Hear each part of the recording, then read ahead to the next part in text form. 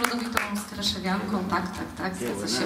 E, Ta moja miłość i pasja do muzyki narodziła się e, dzięki mojemu ukochanemu dziadkowi.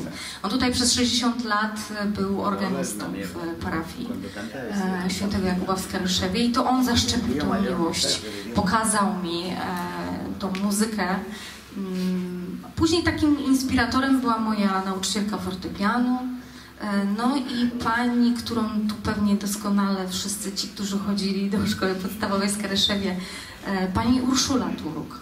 I pamiętam taka anegdota. Siedzimy, ponieważ miałam też taką przyjemność, jak przyszłam do pracy tutaj też jako muzyk e, w szkole podstawowej. E, Siedziałyśmy kiedyś po jakiejś takiej kolacji wigilijnej razem, po złożonych życzeniach i pani Ula tak siedzi, podparła się tak przy stole i mówi tak Mój Boże, dziecko, co ja ci zrobiłam? To tak a propos tego mojego zawodu, strasznie. Mój Boże, dziecko, co ja ci zrobiłam? E, Ja nie żałuję, bo to e, muzyka to fantastyczna przygoda mm, i taką przygodę e, miałam możliwość poznać na studiach. Mianowicie spotkanie e, osoby Piotra Rubika. Ja wiem, że tu może niektórzy powiedzą, że tak, z Akropolą, ale moi drodzy Państwo, to była naprawdę ogromna przygoda, ponieważ przez trzy lata e, zwiedziłam Polskę wzdłuż e, każdy kraniec. Mogłam poznać fantastycznych ludzi, od Michała Bajora po Kasi Groniec, z którymi miałam możliwość śpiewać. A taka, takie moje wspomnienie muzyczne tych koncertów, to wtedy, kiedy miałam przyjemność śpiewać partię solową za jedną z solistek e, w chórze, ponieważ ja klaskałam u Rubika, tak. E, I e, niezapomniana chwila, kiedy na placu w Krakowie wielotysięczny tłum, ponieważ każdy przyjeżdżał na dzień 2 kwietnia, żeby upamiętnić tą rocznicę śmierci Ojca Świętego. Ogromny, wielki tłum i takie punktowe światło tylko na mnie. E, Ja jestem wdzięczna e, Michałowi, który wtedy śpiewał tą piosenkę pod tytułem 11. Ja miałam przyjemność zaśpiewania razem z nim ośmiu taktów. Niby mało, niby dużo, ale jednak. Czyli muzyka to jest naprawdę wspaniała, fantastyczna przygoda. I właśnie z tych rubikowych dzieł utwór, który nosi tytuł Strumień, śpiewała go Olga Szomańska. I ja mam przyjemność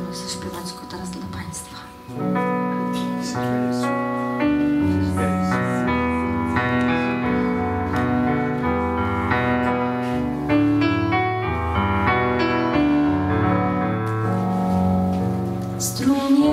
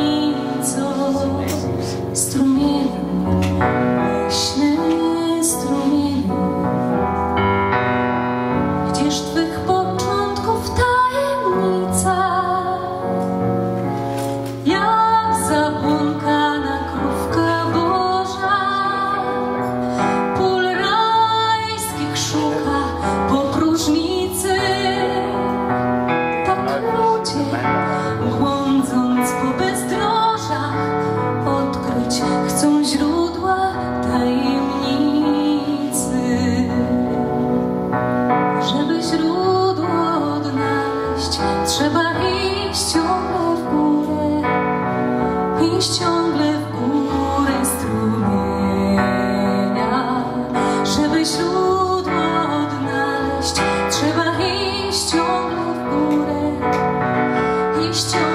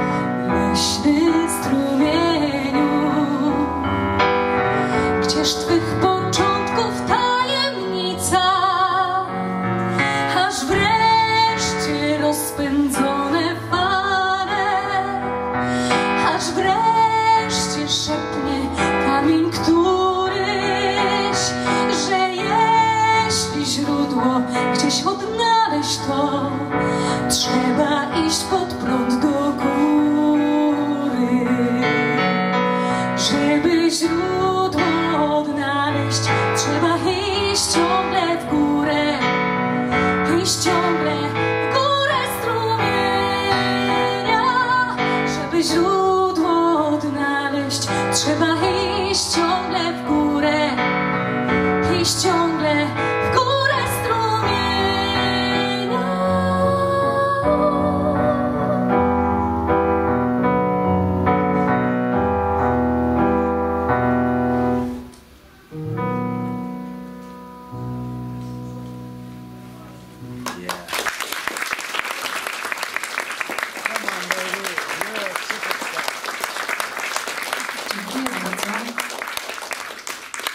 Oddaję głos. Dziękuję.